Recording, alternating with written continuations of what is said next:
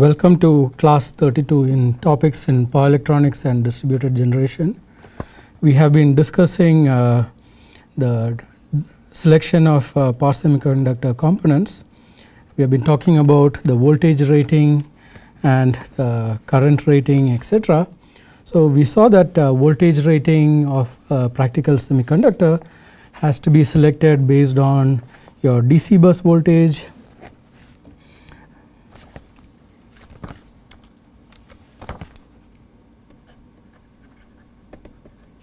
based on DC bus voltage.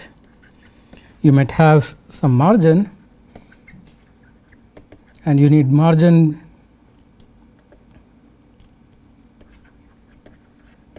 you need margin because of uh, your ripple in your DC bus. There will be ripple. You might have a control range because if you, your controller would have a step response. It might have an overshoot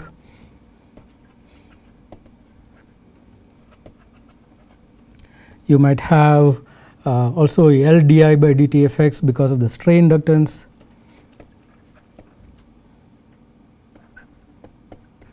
So, so for selection of a of your voltage rating of your semiconductor you need to incorporate the appropriate margin. So, we, then we also looked at the current rating of uh, device and the, we saw that the current rating is linked to the temperature rise and to evaluate temperature rise one one should look at uh, the power loss in the semiconductor quite closely. Okay. So, we looked at uh, the conduction loss it is important to evaluate the conduction loss, the switching loss these are the major components in uh, low voltage uh, uh, systems and um, one need to evaluate this separately for uh, both uh, diodes, uh, freewheeling diodes, IGBT transistors within the um, module package. So, once uh, you look at the losses, um, you have uh, we saw we also saw that the losses in the individual chip depends on the polarity of the current because in uh, in this particular structure if the current polarity is uh, flowing out if the I out is positive then essentially your uh, transistor S1 and diode D2 would be the devices that are conducting. If the polarity of the of the of the current is uh, in the opposite direction then essentially it would be uh, switch S2 and D1 that conducts so, you have to look at uh, not just uh, uh, the, the total number of devices, you will have to look at when each device is carrying current and when there is conduction loss and when there would be switching loss in a particular device. So, one can write the expressions for uh, this switching loss and if you evaluate the switching loss for say one uh, set of uh, transistors, one diode, say corresponding to say S1 and D1 then the losses in the other uh, transistor and diode would be similar because of the uh, the symmetry in your modulation and also the symmetry in the current waveforms that flow through the uh, AC output.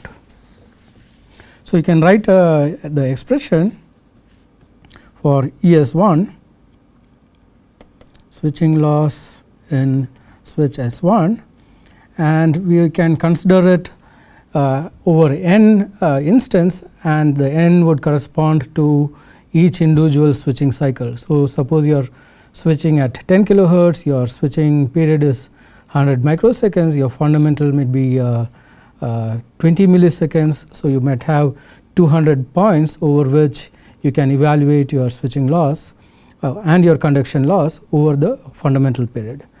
So, you can write the expression for ESW of n as E on of S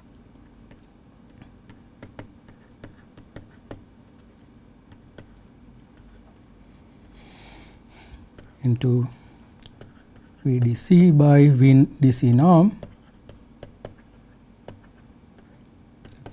R K V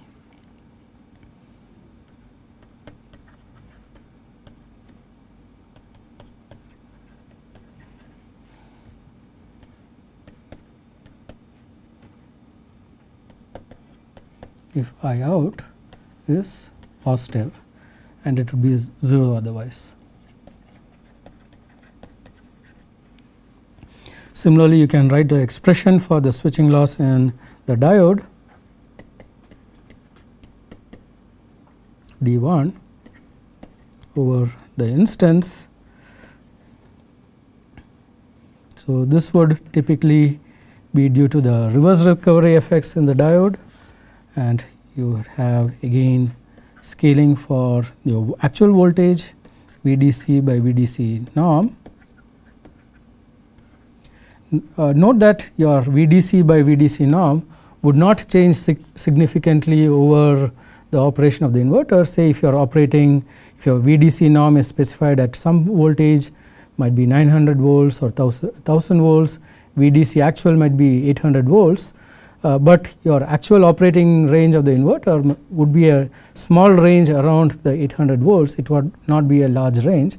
So, this might be say another factor kV2, uh, but your I out is something that is varying over a much wider range, it is varying from a positive value going to 0 going to the post, uh, through the positive peak. So, this is something that is actually varying quite a bit as you are going along your, your fundamental cycle whereas your VDC is actually comparatively a constant number which does not vary as much as your I out term.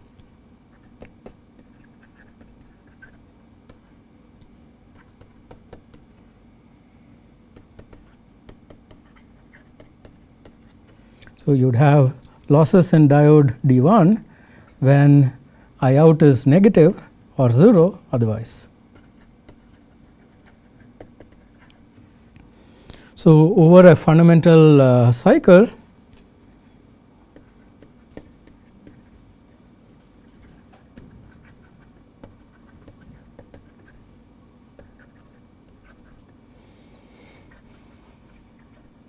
So, we are talking about uh, 20 milliseconds for 50 hertz. we can then evaluate the switching loss over the duration, the total switching loss E switching loss in switch S1 is summation i is equal to 1 to capital N.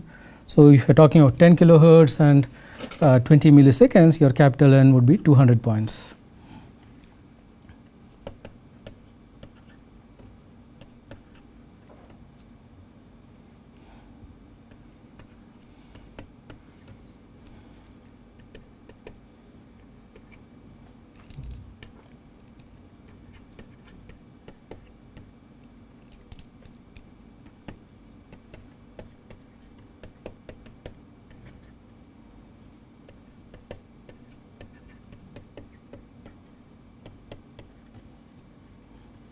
So, your power loss over a fundamental cycle.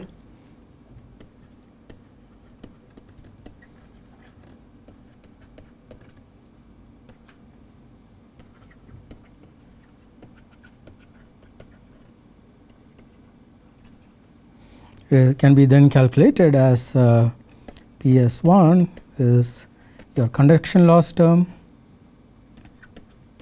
in switch plus your your switching loss term divided by the period over which you are calculating your fundamental period T naught and PD 1 is conduction loss in the diode D 1 and switching loss in D 1 over again the fundamental period. Uh, it is possible instead of doing the summation for sinusoidal waveforms with assumptions that your uh, k i is equal to 1, then it is possible to obtain closed form expressions for the conduction loss, switching loss.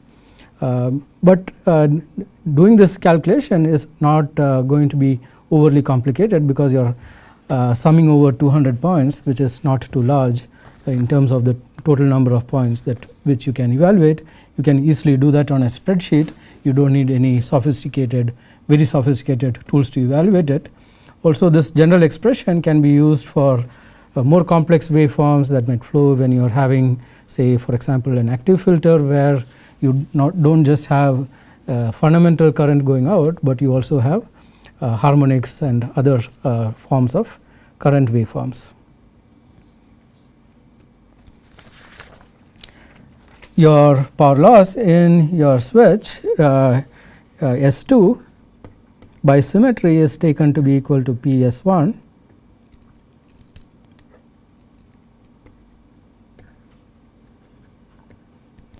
and power loss in D2 again is taken as power loss in D1. So, once you have the power loss in S1, S2, uh, D1 and D2, you could then use it to evaluate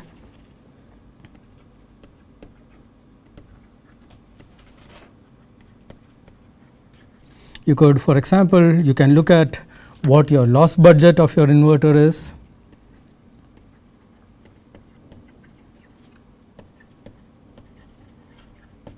you could look at your uh, system efficiency.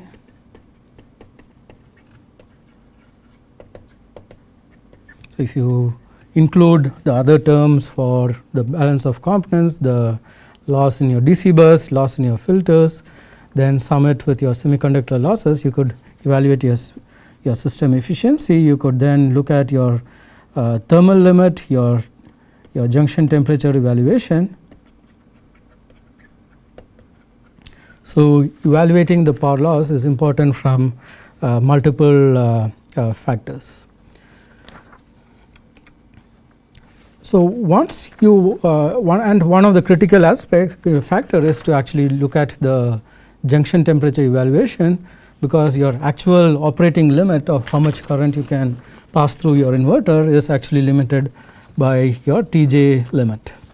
So, to obtain the thermal uh, uh, uh, limit, you have to look at how the overall thermal management of a power module is done and you have uh, power dissipation happening in the individual chips say uh, here 4 chips are shown, but there can be dozens of chips within a single module. And uh, you if you look at the heat flow, heat flow path in a typical module, uh, the heat flow is from the chip down into the base plate of the module. Uh, below the uh, below the base plate is a heat sink and you typically have thermal interface material thermal grease which is used to ensure that you do not have uh, air voids uh, within uh, between the base plate and your heat sink because air voids act as uh, insulators, thermal insulators, you, wa you want to avoid uh, the voids. Also, even with uh, tight tolerance on the surface finishing of your heat sink and your base plate, there will be still be some curvatures. You want to ensure that uh, there is good contact, especially when you are tightening the screws on the edges to mount the module on the heat sink. Uh, the curvatures would change and you need to ensure that your uh, having um, some uh, thermal contact all across from your base plate to uh, your heat sink, typically the, the thermal resistance of the thermal interface material can actually be quite appreciable. Uh, even though the layer thickness is quite small, it is typically of the order of uh, tens of uh, micrometers, it is not a thick layer, but even that finite layer can actually introduce thermal uh, resistance between your chips and uh, between your base plate and your heat sink. So, essentially your heat flow path is from your chip down into your heat sink and out through the, from your heat sink to your ambient. And between your uh, chip and the base plate you would have additional uh, uh, layers. We will look at those layers in detail. One thing that you would want to do is you want your chips which are actually carrying uh, the, uh, the electrical potential to be isolated from your heat sink. So, you there is a, a ceramic layer typically aluminum oxide or aluminum nitride uh, commonly used.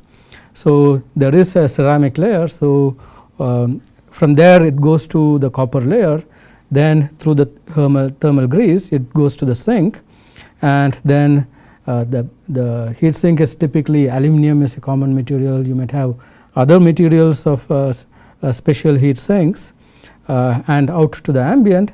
Again ambient is typically air, it can be forced air, natural air uh, cooling, can also be water, oil, uh, different uh, materials.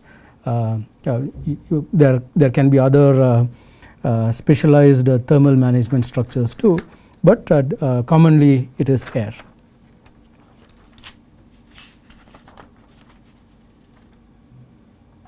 So, so to look at the overall uh, uh, thermal uh, uh junction temperature, one has one should actually look at uh, evaluate the structure and look at how to generate a thermal model of your overall system. So, so to do that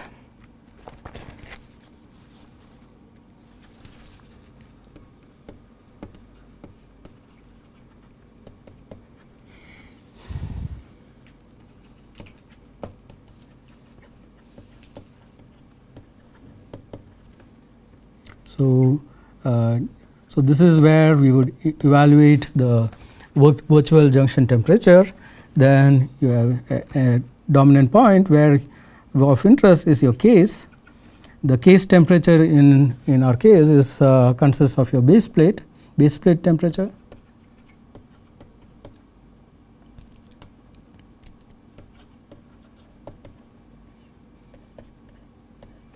And uh, from your case you are going to your sink.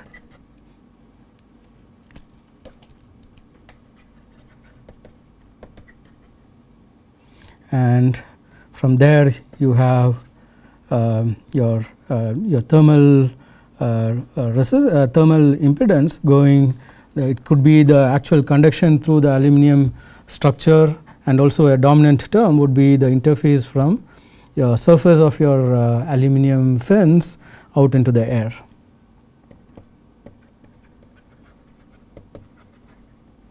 So, this is your heat sink temperature and this is your ambient temperature.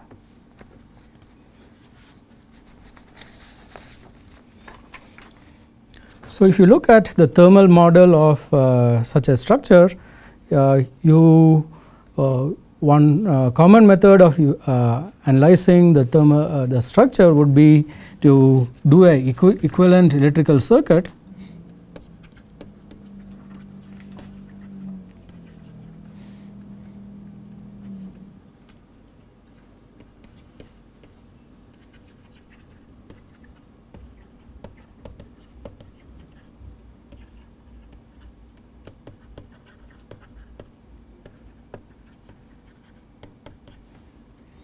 and your power loss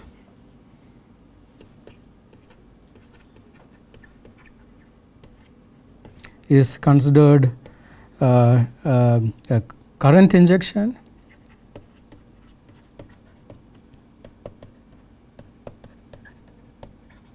Uh, so it's a current source. In your electrical equivalent circuit your thermal conductivity of your uh, structure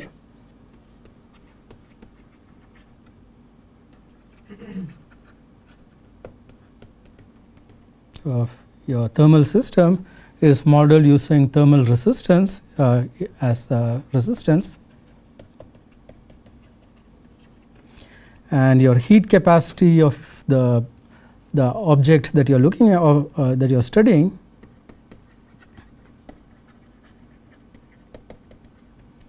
is looked at as equivalent capacitance and the actual temperature is modeled as the voltage of a node or of uh, as a voltage source.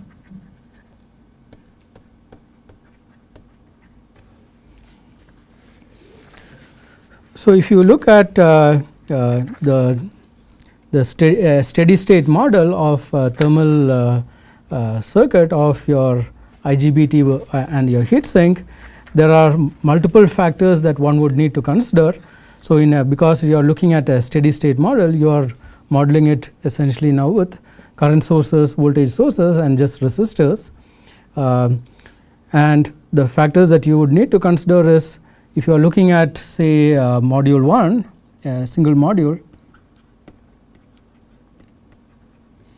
shown within the green boundary then you have to look at what are all the possible uh, uh, power losses in this case uh, we are looking at two level inverter there is power loss in switch S1, S2, diode 1 and diode 2. if there are more complex structures you will have to look at the total loss within a single module. You might have mo mo modules with multiple legs, you might have more complicated topologies such as multi-level power converters. So, so the first thing is to consider all the loss that aggregates into a single module and uh, here we are considering your power loss in switch 1 to be equal to power loss in switch 2 and because of the symmetry of operation we are looking at uh, your junction temperature of uh, your uh, your switch 1 to be equal to the junction temperature of switch 2. So, you do not have to explicitly evaluate the junction temperature of switch 2 by adding a resistor resistance over here because current source in series with the resistance would still inject the same level of current into the uh, case of your module. So, you will, you can evaluate your Tj of your switch S1 and here you can evaluate Tj of your diode D1. Similarly, if you have uh, multiple modules that are mounted on the heat sink, uh, here what is shown over here is the is a thermal resistance between the case and the heat sink. So, this would correspond to your uh, thermal interface material which is the thermal grease. Okay.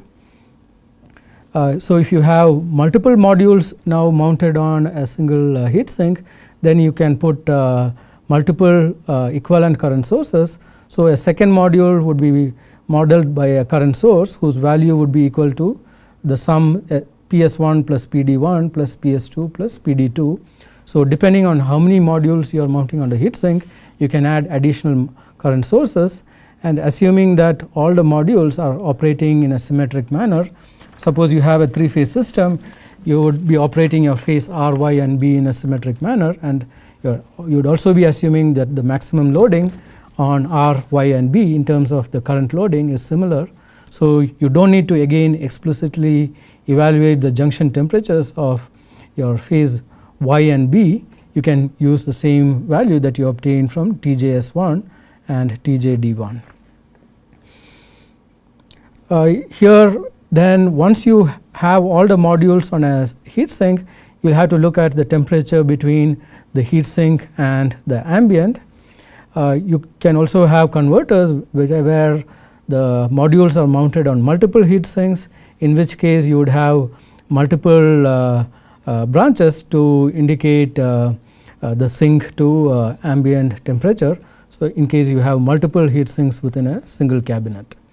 Uh, one thing to note over here is that uh, we are considering the ambient temperature over here in a in a, a power converter your ambient temperature in this uh, this temperature might correspond to uh, temperature within a cabinet if you have uh, uh, the external air that is being specified to you you will then have to evaluate what is the thermal exchange between your cabinet internal air and your external air which would give an additional voltage drop uh, between your internal and external. So, you need to know what, where, where exactly your ambient is being referenced to whether it is the external air or internal air. If it is the internal air in the cabinet you will have to look at not just the losses in your semiconductors you will have to look at the losses that are coming in from your other components there may be fans within the cabinet which are dissipating power there might be uh, uh, inductors filters uh, a wide range of structures which would make your uh, problem lot more uh, complex and not, and not essentially as symmetric as evaluating a single uh, semiconductor structure on a heat sink.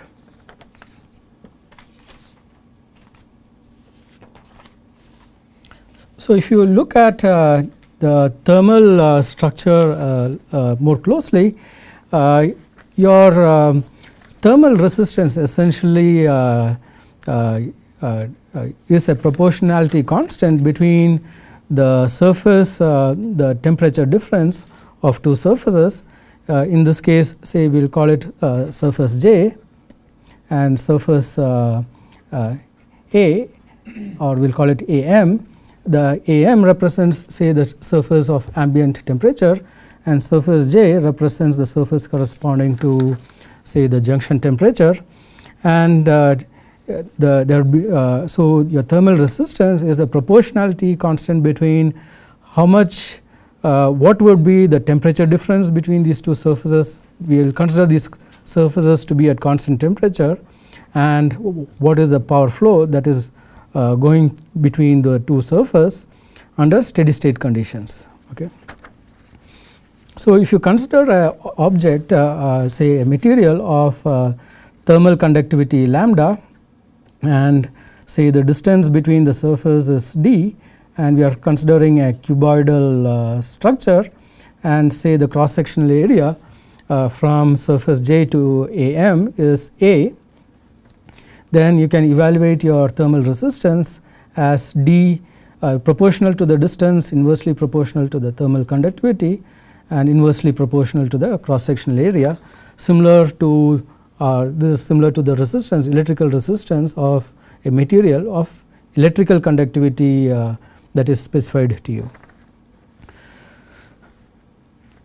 So, in case uh, your um, uh, power loss in the switch that is going in into your uh, uh, your surface J is equal to the power loss that is coming out of your surface AM, then you say that this particular uh, uh, system is in thermal steady state.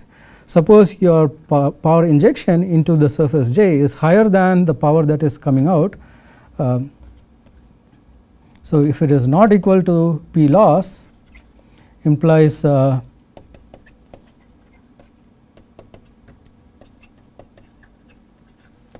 not in steady state.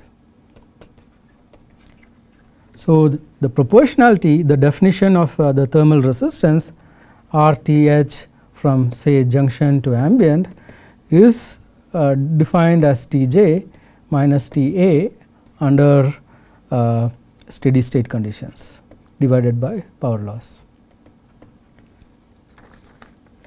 So, initially if you look at these two surfaces before you have any loss initially uh, uh, both surfaces J and Am might be at the same temperature when you just apply a step say power loss into surface j uh, the initial temperature of uh, the surface j would be equal to the temperature of the surface am.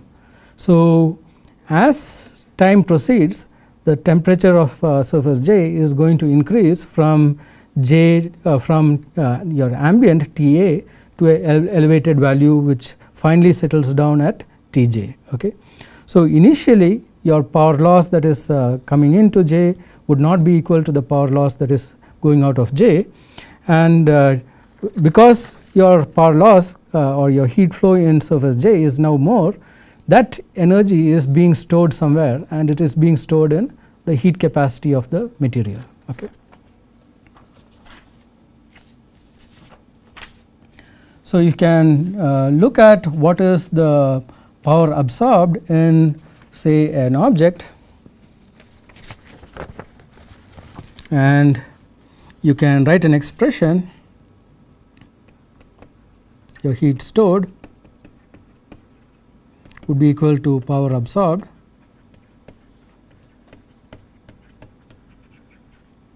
Um, by the material and your power absorbed is given by your thermal capacitance into dTj by dt.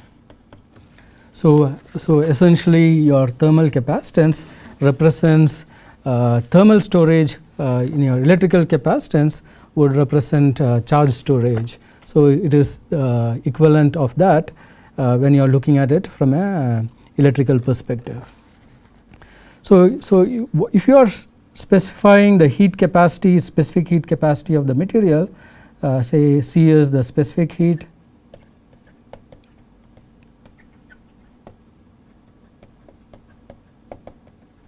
V is the volume of the material. And rho is the density, then you can write an expression for your, your thermal capacitance to be uh, essentially your mass times your specific heat capacity to give your thermal capacitance of your material. And again uh, the nodes of interest, so you can uh, write uh, uh, uh, simplified expressions for your CTH for different items that you are that is being considered in your module. So, if in your module if you are considering different sections you could look at what is the thermal resistance in a simplified manner. You could also consider the heat capacity of objects. We mentioned that the thermal interface la layer is extremely small, uh, only microns thick. So, there is not much heat being stored within your th thermal interface material, it is just uh, temperature rise. Uh, so, whereas you would have uh, a lot of material in your heat sink, so there can be potentially a lot of storage in your heat sink uh, comparatively a smaller amount in your base plate because it is uh, typically smaller in size than your heat sink, your energy stored in your semiconductors would be uh, still smaller.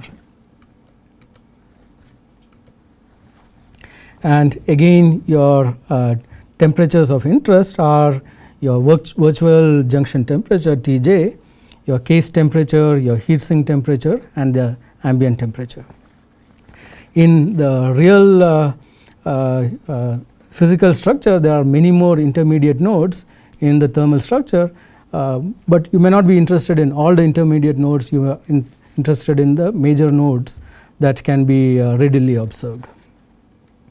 So, if you look at such a structure of uh, capacitance and the thermal resistance, this corresponds to a physical model of your heat flow within your uh, structure of your, your thermal management structure. So, if you look at um,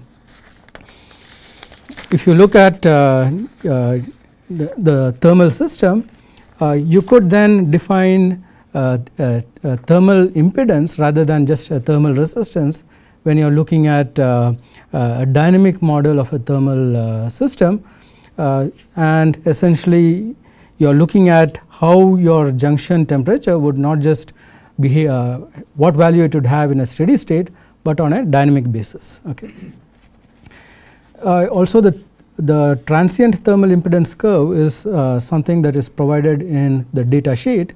So, if you a typical transient thermal impedance curve would be a, a curve that is plotted on a log log basis. So, so you are talking about uh, longer time frames of the order of uh, 1 second for a power module.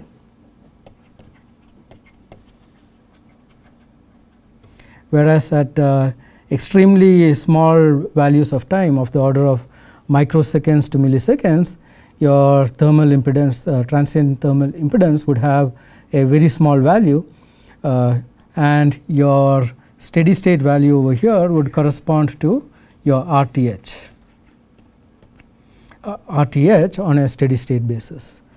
Uh, so, this curve what is shown over here is for a single pulse.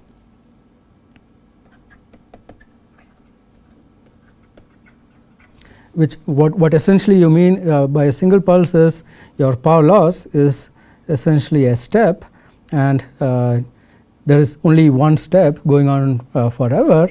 And essentially your definition of your uh, transient thermal impedance is essentially the step response of your junction temperature uh, when for a given step in power loss. Uh, your delta T in this particular case when you are having a uh, when you are looking at the transient thermal impedance of a module is Tj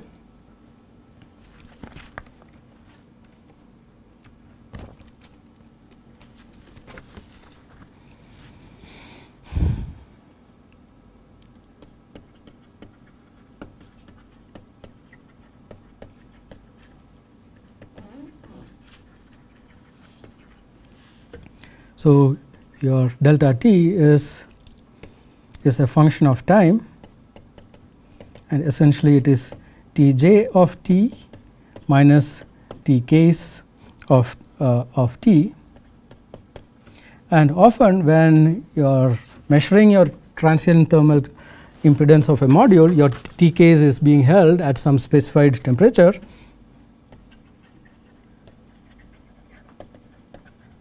So, you might have a, a active uh, uh, thermal loop ensuring that your uh, case temperature is held constant at some value maybe uh, 25 degrees centigrade and then you are essentially looking at how your junction temperature what is the uh, rise of the junction temperature over your case temperature.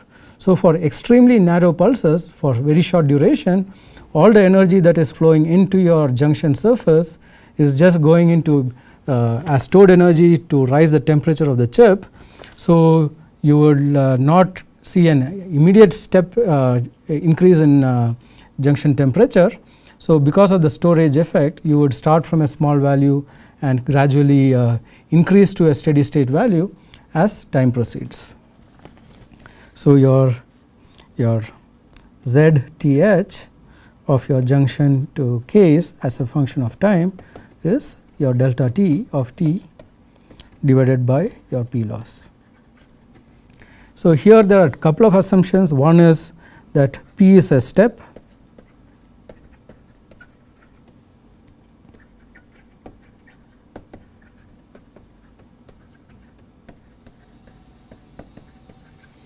So, for example, one could apply a step current and we know that the power loss due to the step current because of VCE on would have a similar step nature uh, and then you could consider uh, use that power loss and then evaluate what your resulting temperature is.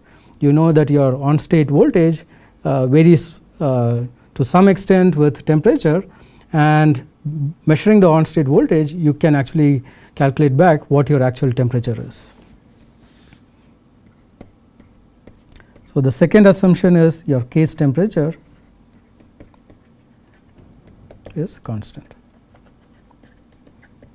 So, this can be with a, a thermal bath some active cooling uh, to ensure that your case temperature is uh, being held constant.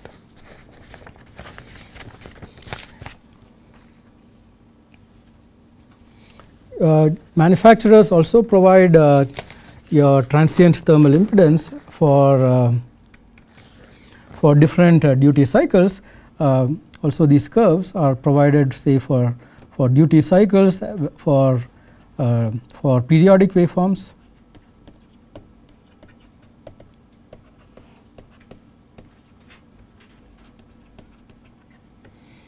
So, essentially instead of having uh, a step waveform in this case you are having a duty cycle and a period of uh, uh, period in which your power is being dissipated and uh, essentially the square pulse is being repeated and your TP is essentially some uh, duty cycle times your uh, overall period T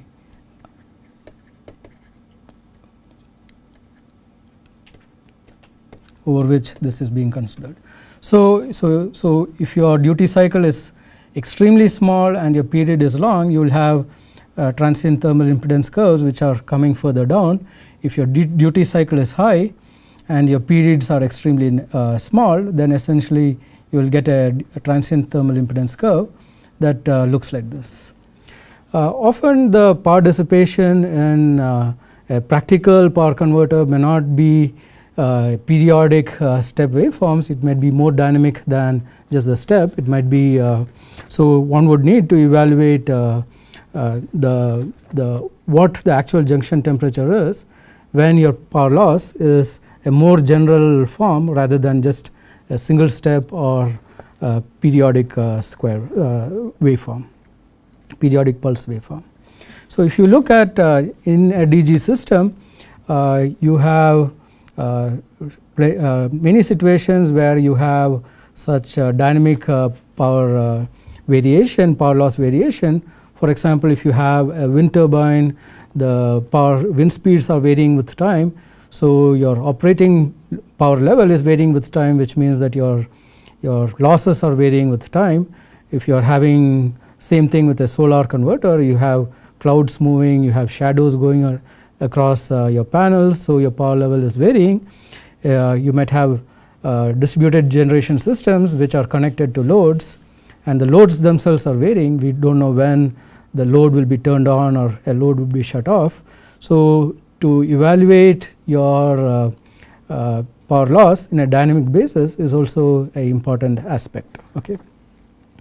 So, one way in which uh, one can evaluate uh, your uh, temperature is uh, to look at your expression. We, we know that your, your delta T is essentially a, a product of your thermal impedance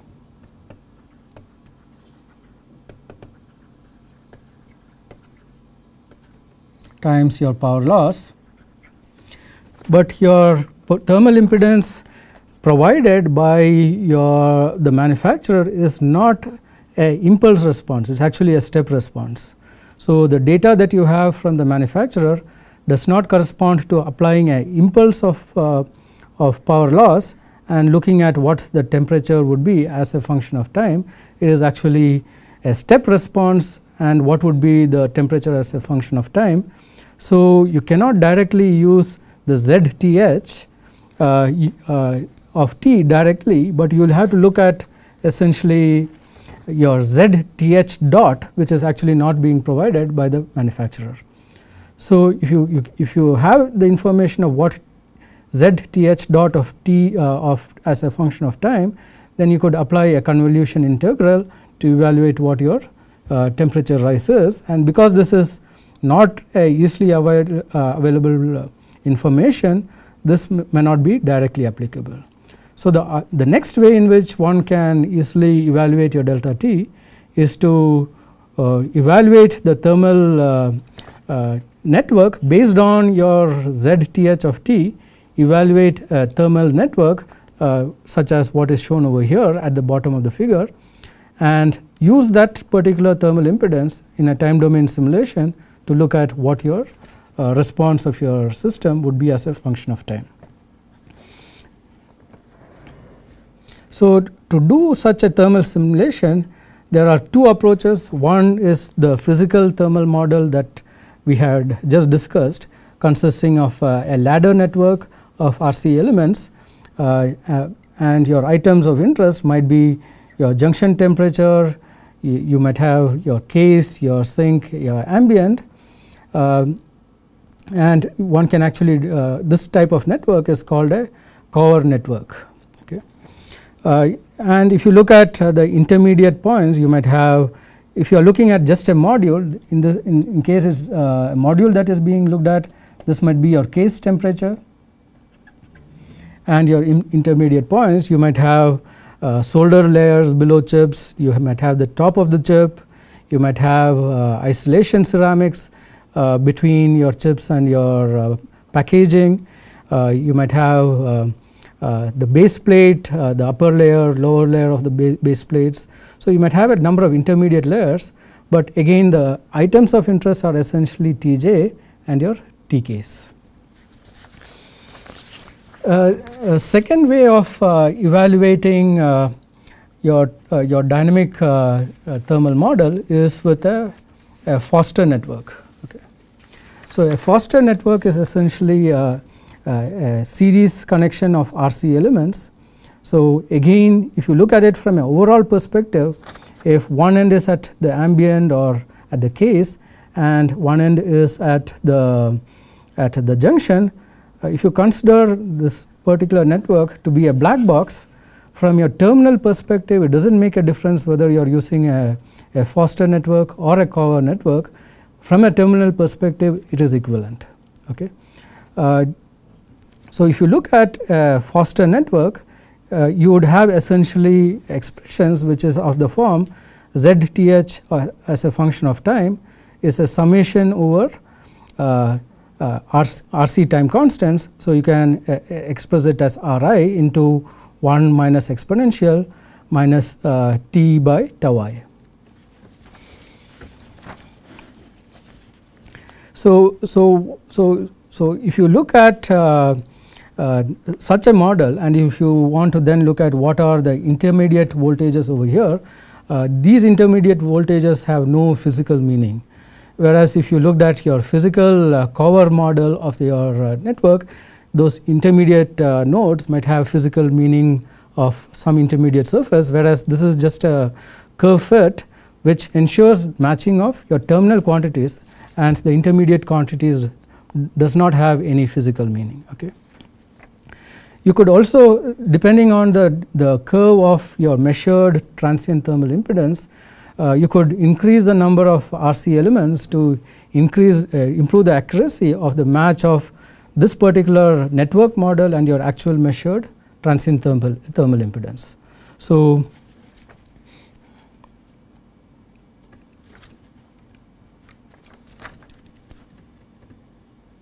so this is just a mathematical model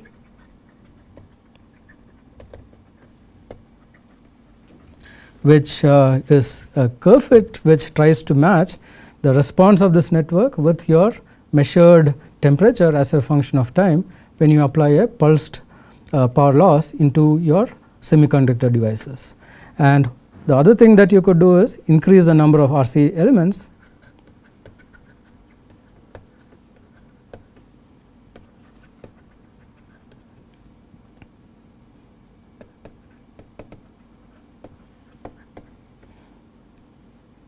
improve the fit accuracy.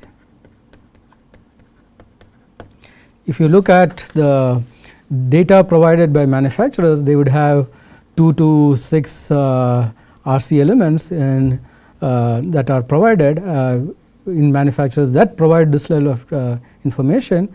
They would provide uh, between uh, say 2 to 6 time constants equivalently R RC elements.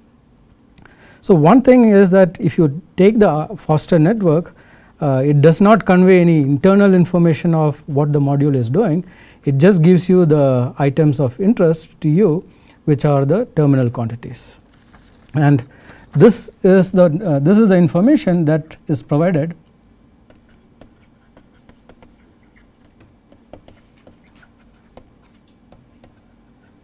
your Cauer network is not is not provided in, in your data sheet. Okay. So, you can see that one difference of uh, uh, between your uh, Cauer network uh, over here is that all your thermal capacitances are to ground whereas in, uh, in your in the Foster network all your uh, only one capacitor at the last capacitor is connected to the ground all the other capacitors are actually between terminals. So, one of the uh, drawbacks of the thermal uh, the Foster network is that it assumes that this particular node in case you are looking at a module then you are looking at this particular node as the case temperature. So,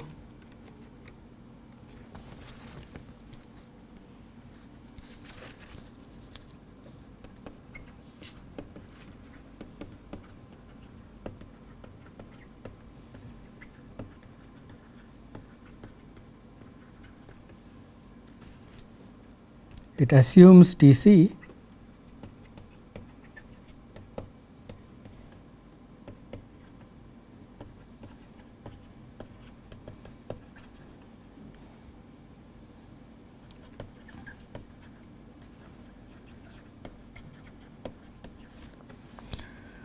and uh, and it is not uh, it does not assume that what goes beyond T c is actually a thermal impedance. It assumes that it is a a, fixed voltage source. So, if you physically connect a,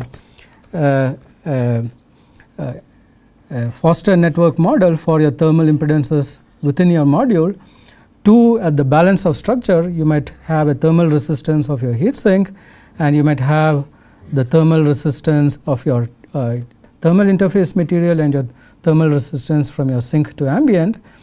Uh, if you do that for say a Foster network what it means is that you have this particular model and it is being connected through a resistor and if you apply a step change over here then the response would also see a immediate step, but we know that physically within uh, a network uh, thermal network, you will not see instantaneous jump in temperature. You have to have thermal storage before the temperature can actually rise. So, you cannot connect a Foster network to the balance of your structure. You have to actually transform it back to a Cauer network before you connect it to the balance of thermal your thermal system.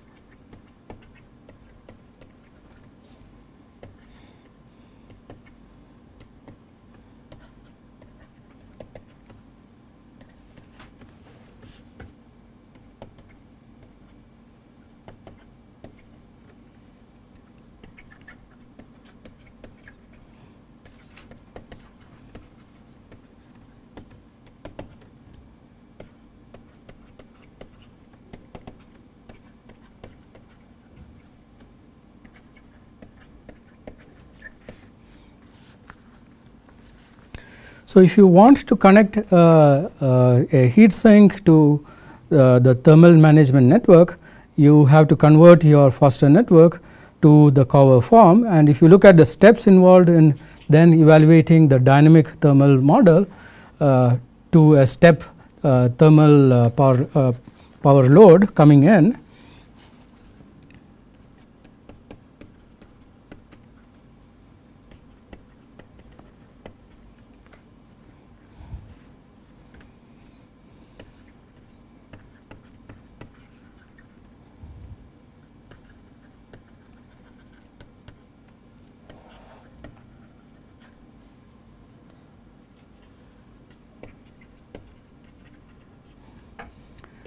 First thing is to use the Foster network parameters.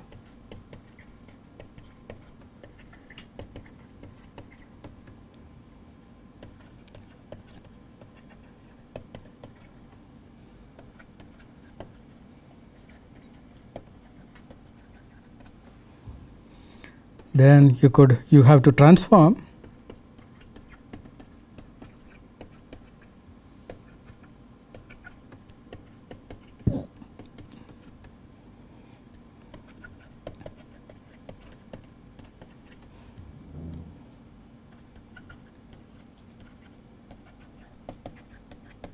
could transform it to a Cauer network. Your uh, parameters for your uh, modules are typically provided by the manufacturer. Uh, typically, you may not have much information about the heatsink. Sometimes your heatsink manufacturer might give you some information on thermal resistance, but you may not have a dynamic thermal model of the heatsink. So, you will have to actually determine it experimentally. Okay.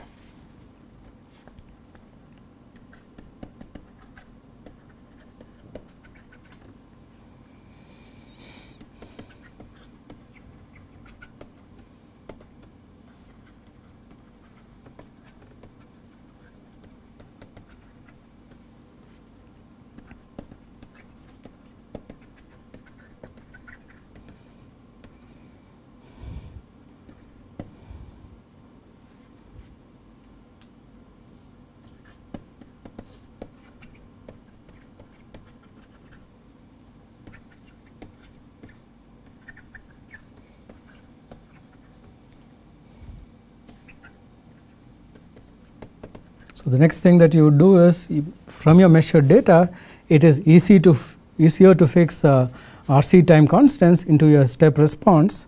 So, you can obtain the fit the thermal response to obtain the heat sink uh, Foster network.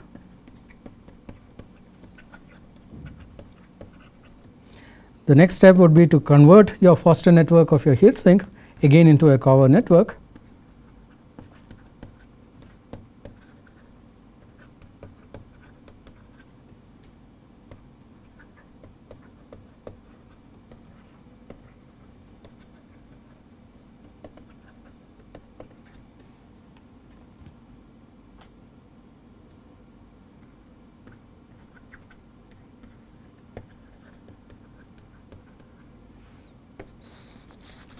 So, after that you connect your thermal networks together because once you have it in Cauer form you will be able to do that.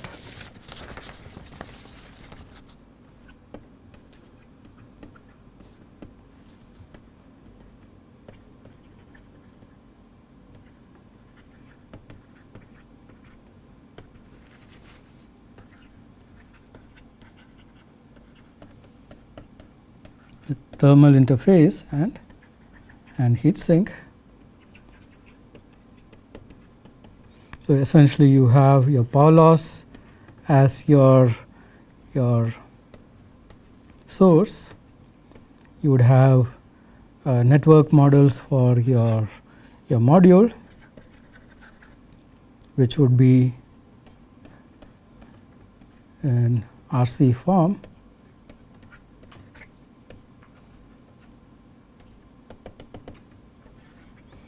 you might have just a resistor modeling your uh, your thermal interface material.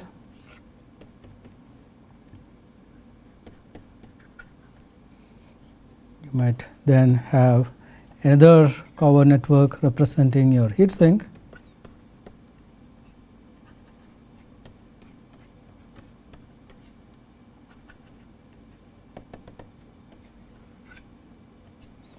going out to your ambient which is essentially specified by your requirement at what uh, temperature your system is going to operate. So, once you have the combined uh, uh, network for the module, your th thermal interface and heat sink, you can then uh, do a, uh, either a couple of things. One is you can do a, a time domain simulation.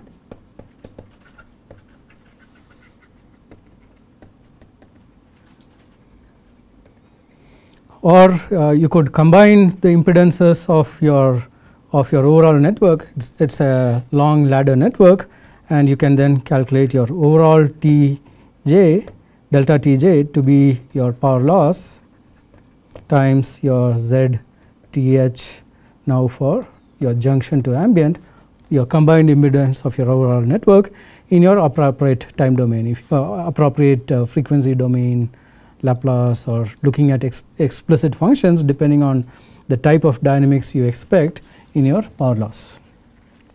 So, one thing that we have seen is that uh, to do this overall thing uh, of uh, dynamic thermal model evaluation, you have to go back and forth between Foster networks and uh, Cauer networks. So, we will take a look at uh, wh what would be the, the type of analysis you need to do such transformations in the next class.